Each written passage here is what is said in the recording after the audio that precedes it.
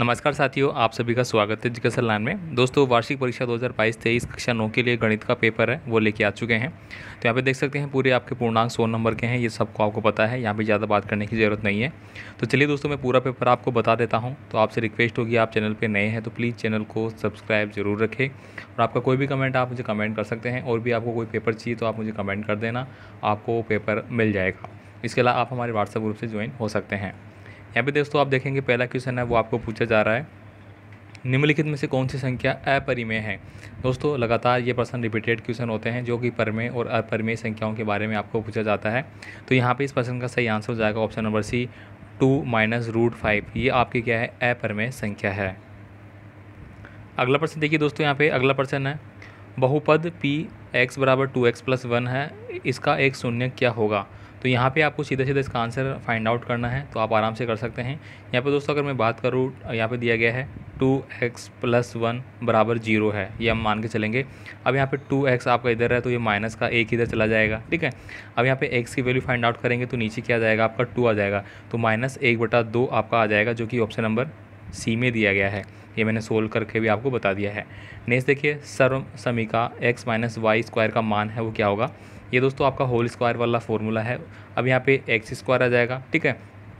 Minus two X Y plus Y square ये जो formula है वो आपका इस प्रकार से खुलता है। ए प्लस बी या फिर ए माइनस बी का होल स्क्वायर जो होता है तो यहाँ पे ऑप्शन नंबर है, वो सी आपका सही आंसर है। दोस्तों, सारी क्वेश्चन आपको याद कर लेना है, पूरा पेपर सेम है। यहाँ पे देखिए पाँच का स्क्वायर आपको दिया गया है। ब्रैकेट में बंद करने के बाद माइनस सात का मान है वो पूछा गया है। अब यहाँ पे आपको क्या करना है? सीधी सीधी आपकी जो घात है, उनको आपको मल्टीप्लाई करना है। तो पाँच की पावर चौदह बन गया आपका माइनस में तो ये आपका आंसर हो गया।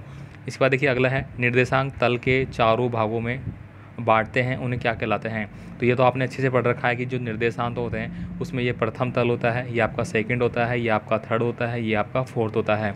मतलब एक कोई भी निर्देशांक अक्ष है, उसको चार भागों में बांटा जाता है ये यहाँ पे पूछा गया है। तो इसको अपन चतुरांश बोल देंगे, ठीक है? अगला प्रश्न देखिए दोस्तों, यहाँ पे अगला क्वेश्चन है सेतीज रेखा को कहते हैं। तो दोस्तों यहाँ पे दिया गया है X minus X Y X बोलते हैं एक्स एक्स बोलते हैं एक्स बराबर ए बोलेंगे वाई बराबर बी बोलेंगे। अब यहाँ पे दो रेखाएँ आपकी होती है। एक होता है आपका हॉरिजॉन्टल और एक होता है वर्टिकल अब यहाँ पे सैंतीस रेखा बोली गई तो सैंतीस रेखा आपकी ये हो जाएगी, ठीक है? और आपकी ऊर्ध्वाधर होती है, उसको अपन इस प्रकार से बोलते हैं। तो सैंतीस रेखा ये तो अपन बोलते हैं एक्स एक्स इसको बोलते हैं वाई एक्स तो आपका आंसर हो जाएगा ये वाला। यदि बराबर को बराबरों में से घटाया जाए तो शेषफल भी होते हैं। तो दोस्तों, बराबर में से बराबर को किसी संख्या को घटाएँगे तो आपका बराबर ही शेषफल निकलता है। तो यहाँ पे ऑप्शन नंबर द है, वो सही आंसर हो जाएगा। अगला देखिए, यहाँ पे एक त्रिभुज के तीनों कोणों का योग होता है। इजी क्वेश्चन है, बहुत इजी है। एक त्रिभुज आपने बना लिया, इसके तीनों कोणों का योग कितना होता है? 180 डिग्री होता है। तो ऑप्शन नंबर ए आपका सही आंसर है। चलिए अगले प्रश्नों की बात करता हूँ।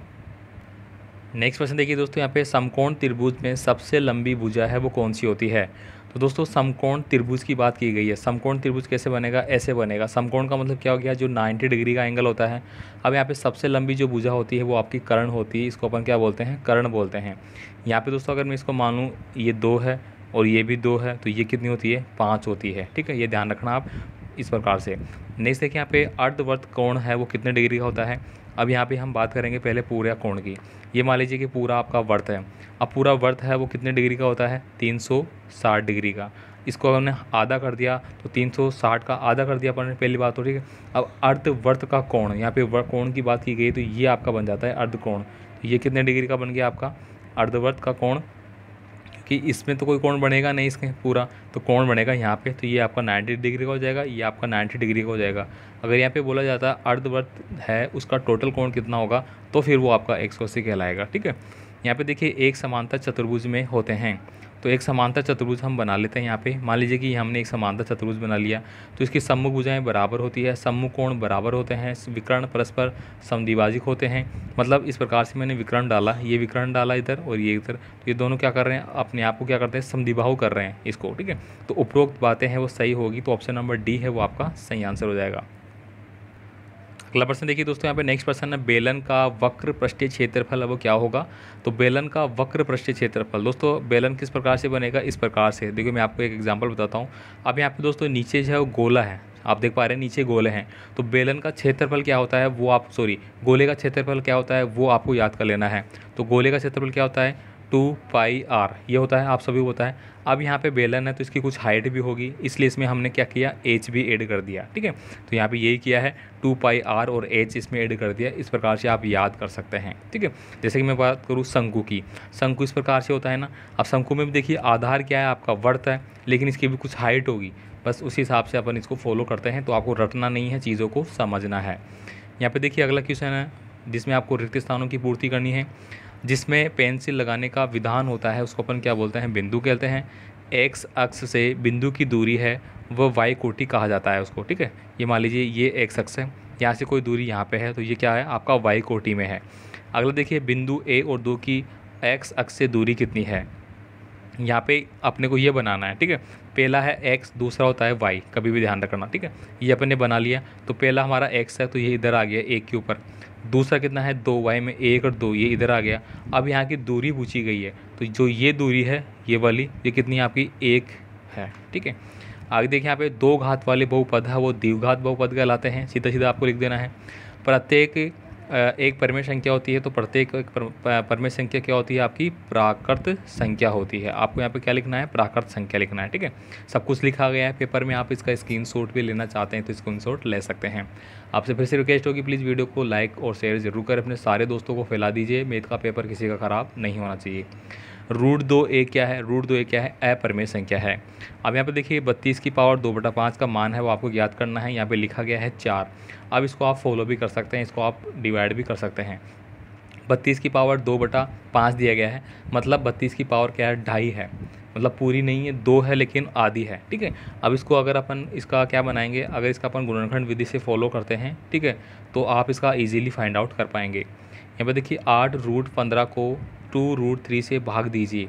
अगर आप इसको इससे भाग देंगे तो आपका forty eight root five answer आएगा। ठीक है तो सब कुछ लिखा गया है। बाकी थोड़ा सा आपको घुमा फिरा के कैसे भी अगर आपको आता है तो बहुत अच्छी बात है, वरना तो आप इसको आराम से कर लेंगे। अगला प्रश्न, देखिए दोस्तों नेक्स्ट प्रश्न है यहाँ पे। बहुपद दिया गया है। पाँच X cube plus four X square plus seven X की घात है, वो आपको बताना है। तो बहुपद जो भी होते हैं, उसमें जो पहला चर होता है, उसी की घात है, वो काउंट की जाती है। तो घात कितनी होगी आपकी? थ्री हो गई। जो आपका द्विघात बहुपद होता है, उसमें अपन बोलते हैं ना टू एक्स स्क्वायर लिखते हैं पहले पहले। तो द्विघात इसीलिए बोलते हैं क्योंकि इसके ऊपर घात दो होती है, ठीक है? अब यहाँ पे देखिए, बहुपद two minus X square plus X cube में एक्स स्क्वायर का गुणांक है, वो आपको लिखना है। तो यहाँ पर दोस्तों एक्स स्क्वायर का जो गुणांक है, यहाँ पे इस फॉर्मूले की मैं बात करूँगा तो इसका गुणांक कितना है? एक है माइनस एक तो ये आपको लिख दिया गया है। आगे देखिए, कार्तीय तल में किसी बिंदु की स्थिति निर्धारित करने वाली क्षैतिज व ऊर्ध्वाधर रेखाओं के नाम आपको बताने हैं। तो सीधी सीधी बात है एक्स अक्ष और वाई अक्ष ये हो गया। अभी अभी मैंने इंग्लिश में बोला था सैंतीस ऊर्ध्वाधर ऊपर आया था हमारा। इसको अपन एक बोलते हैं हॉरिजॉन्टल और एक बोलते हैं अपन वर्टिकल ठीक है? बिंदु माइनस टू और फोर किस चतुरांश में स्थित है? तो यहाँ पे लिखा गया है द्वितीय में, लेकिन मैं आपको बताता हूँ कैसे है यहाँ पे। ये हमने बना लिया आपका, ठीक है? ग्राफ एक्स अक्स और वाई एक्स के लिए। पहली संख्या हमेशा एक्स को रिप्रेजेंट करेगी, दूसरी संख्या किसको करेगी? वाई को रिप्रेजेंट करेगी, ठीक है? अब माइनस दो है तो मतलब एक्स माइनस किधर है? इधर है। तो वन और टू यहाँ पर आ गए अपन। वाई चार है तो एक, दो, तीन, चार इधर है। लेकिन ये इस साइड आ गया ना आप दोनों। इस साइड में खा रहे हैं तो ये आपका फ़र्स्ट हो गया। सॉरी, ये फ़र्स्ट है और ये आपका सेकेंड है। यहाँ पे यही लिखा गया है द्वितीय में, ठीक है? तो पता लग गया कैसे आ रहा है? यहाँ पे देखिए, दस पॉइंट पाँच सेंटीमीटर त्रिज्या वाले गोले का पृष्ठीय क्षेत्रफल है, वो आपको याद करना है। अब आपको सारे जो फॉर्मूले हैं, वो थोड़ा सा याद करने होंगे। अब यहाँ पे देखिए, पृष्ठीय क्षेत्रफल याद करने का फॉर्मूला है आपका, वो आपको फॉलो करना है। यहाँ पे देखिए, फोर पाई आर। एक चतुर्भुज के कोण तीन, पाँच नौ और तेरह के अनुपात में है। उस चतुर्भुज के सभी कोण कितने डिग्री के होंगे? तो यहाँ पे चतुर्भुज की मैं बात करूँगा, कोई भी चतुर्भुज है, उसका टोटल कोण कितने होता है आपका? 360 डिग्री होता है। अब यहाँ पे 360 डिग्री बराबर आपको लिखना है, इनको आपको काउंट कर लेना है, ठीक है? देखिए यहाँ पे मैं काउंट कर लेता हूँ तो तेरह, ठीक है? इसको काउंट किया अपन ने, तेरह और तीन कितने हो गए? सोलह हो गए। सोलह और फिर आपको नौ काउंट किए, पच्चीस हो गए। पच्चीस और पाँच कितने हो गए? तीस। तो यहाँ पर मेरा हो गया तीस एक्स, ठीक है? ये तीस एक्स इसके साथ है, ठीक? अब मेरे को क्या करना है? एक कोण की वैल्यू फाइंड आउट करनी है। तो ती, ये मैंने ज़ीरो से ज़ीरो काटा और ये, इसे काटा बारह छत्तीस। मतलब एक्स कितने का डिग्री का आ गया? बारह डिग्री का आ गया। अब मैं पर्टिकुलर उसको मल्टीप्लाई कर लूँगा, जो वैल्यू दी गई है एक को। क्योंकि मेरा एक्स की वैल्यू कितनी आ गई? मेरी बारह आ गई। तो पहला कोण आपका कितने डिग्री का हो गया? छत्तीस डिग्री का। छत्तीस अनुपात बारह पंजो साठ। ये साठ डिग्री का हो गया। ठीक है, फिर बारह को नौ से गुणा करूँगा। ये एक सौ आठ डिग्री का हो गया। फिर बाकी जो इसको ऐड करने के बाद बच गया, वो कितना हो गया? तेरह का हो गया। इस प्रकार से आप इसको कर लेंगे। ठीक है? चलिए अगले पर्सन की बात करते हैं अपन। नेक्स्ट क्वेश्चन आपको दिया गया है ई e और एफ़ कर्म से त्रिभुज ए बी सी की भुजाएँ हैं। भुजाओं ए बी और ए सी के मध्य बिंदु दर्शाए गए हैं। तो बी एफ़ बराबर सी एफ़ है। वो क्या है या नहीं है, ये आपको बताना है। तो यहाँ पे सिंपल सी बात है दोस्तों ए बी सी आपका त्रिभुज आपको दिख रहा है, बड़ा वाला त्रिभुज। इसमें ए बी और ए सी मध्य बिंदु है। ए और देखिए बी कहाँ पर है। इसके मध्य बिंदु ई e दिया गया है और ए और सी ए और सी इसका मध्य बिंदु ये आपको दिए गए हैं।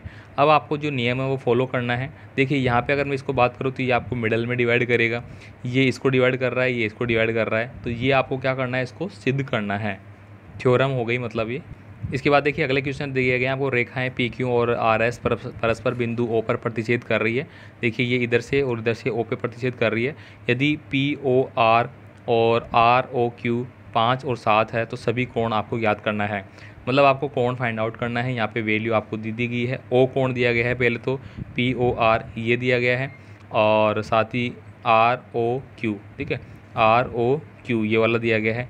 ठीक है, ये पाँच अनुपात सात में है, ठीक है? तो एक वैल्यू आपको पता लग गई, एक कोण की तो आप उसको मल्टीप्लाई करके दूसरे की फाइंड आउट कर लेंगे। यहाँ पे देखिए, अगला क्वेश्चन आपको दिया गया है, यदि ए सी बराबर बी डी है तो सिद्ध कीजिए ए बी बराबर सी डी होगा। इसमें आपको ये फॉर्मूला में इनपुट करना है। यहाँ पे देखिए कार्तिक तल में बिंदु पाँच, ज़ीरो ज़ीरो पाँच, दो पाँच पाँच सात, सॉरी, पाँच दो का स्थान निर्धारित करना है। तो ये आप उसमें आराम से कर लेंगे, जो भी निर्देशांक अपन याद करते हैं, ठीक है? सीधे गुणा किए बिना मान आपको याद करना है 103 गुणा 107 है। इसको मतलब आपको पेपर में गुणा करके नहीं दिखाना है, आपको डायरेक्ट आंसर दिखाना है तो आप रफली इसको यूज़ करके बता सकते हैं, ठीक है? या फिर आप देखिए इस इस प्रकार के क्वेश्चनों में अपन कैसे करते हैं, मान लो आपको दिया गया 103 ठीक है? गुणा 107 आपको दिया गया है, ठीक है? अब यहाँ पे मैं क्या करूँगा? सबसे पहले देखिए, गुणा मेरा लेंथली पड़ रहा है तो मैं क्या करूँगा, इसको 100 से गुणा कर लूँगा। 100 गुणा 107 किया मैंने तो सीधी सीधी दो ज़ीरो लग गई आगे। अब मेरा तीन बच गया था प्लस में। या तो ठीक है? तो मेरे को ऐसे नहीं करना, मेरे को क्या करना है? सौ प्लस तीन, एक बन गया, और गुणा में मेरा क्या है? एक सात है। तो मैं एक बार तो किससे गुणा कर लूँगा इसको? इस वाले से गुणा कर लूँगा, और एक बार इससे गुणा कर लूँगा। सिंपल सी बात है ऐड कर दूँगा। तो सौ से गुणा करना आसान होगा, तीन से गुणा करना भी आसान होगा। तो हमें एक सौ तीन से मल्टीप्लाई करने की आवश्यकता नहीं पड़ेगी। इसके बाद देखिए यहाँ पे ये सारे क्वेश्चन आपको देख रहे हैं। ये सारे क्वेश्चन आपको फटाफट याद कर लेने हैं। Five divide by root three minus root five के हर का परिमेकरण करना है। तो ये परिमेकरण कैसे करेंगे? आपको फाइव रूट तीन और रू माइनस रूट पाँच आपको दिया गया है। परिमेकरण का मतलब क्या मल्टीप्लाई करने में ऊपर आपका जो जाएगा ऊपर रूट तीन जाएगा, लेकिन यहाँ पे प्लस हो जाएगा। परमीकरण में हमेशा क्या होता है? चेंज हो जाता है। ये पूरी वैल्यू ऐसे कैसे आ जाएगी आपकी, ठीक है? अब यहाँ पे देखिए, इधर माइनस का, इधर प्लस का है तो ये पूरी संख्या एक बन जाएगी। आप इसको मल्टीप्लाई करेंगे ना तो मल्टीप्लाई करने के बाद ये पूरी संख्या एक में ही इंक्लूड हो जाएगी, ठीक है? एक ही आपका मतलब बन जाएगा। मतलब रूट तीन को रूट तीन से गुणा करेंगे तो क्या आएगा? आपका तीन ही तो बनेगा। आधा और आधा को अपन जोड़ेंगे तो क्या बनेगा? एक बन जाएगा कंप्लीट हो जाएगा। ऐसे इसको फॉलो करेंगे। ये सब आपको आते हैं, आप इजीली इसको कर पाएँगे, ठीक है? नेक्स्ट देखिए, यहाँ पे एक त्रिभुज का क्षेत्रफल है, उसको आपको ज्ञात करना है। बुझाएँ आठ सेंटीमीटर और ग्यारह सेंटीमीटर है और त्रिभुज परिमाप आपको दिया गया है बत्तीस सेंटीमीटर अब आपको सीधा फॉर्मूले इनपुट करना है इनको भी, ठीक है? ये सब आपको सिद्ध करना है तो फटाफट आप स्क्रीन ले सकते हैं। आगे देखिए, यहाँ पे आपको के का मान है, वो फाइंड आउट करना है। के के मान के लिए आपको देखिए, समीकरण दिया गया है। यहाँ पे टू एक्स ऊपर दिया गया है। Two X plus three Y बराबर के है, इसका हल करना है। तो आप इजीली इसके कर पाएँगे। आपको देखिए वैल्यू आपको दे दी गई है। एक्स इक्वल टू टू है और वाई इक्वल टू वन है। आपको ओनली जो वैल्यू है, वो इनपुट करना है। के का मान आपका आ जाएगा। यहाँ पे देखिए तीन, तीस ट्वेंटी थ्री थ्री वाला क्वेश्चन है, इसमें भी आपको के का मान याद करना है। यहाँ पे एक आपको क्या दिया गया, प्रायिकता वाला क्वेश्चन है, वो आप आराम से कर लेंगे। ठीक है, ऊंचाई 14 सेंटीमीटर वाली एक लंब वर्थी बेलन का वर्क पृष्ठीय क्षेत्रफल 88 सेंटीमीटर स्क्वायर है। बेलन के आधार का व्यास है, वो आपको ज्ञात करना है। तो ये सारे आप कर लेंगे, फटाफट आपने स्क्रीनशॉट ले लिया होगा आई होप तो मिलते हैं अगले पेपर के साथ, अगले वीडियो में आपका कोई भी कमेंट है मुझे कमेंट कर देना। धन्यवाद।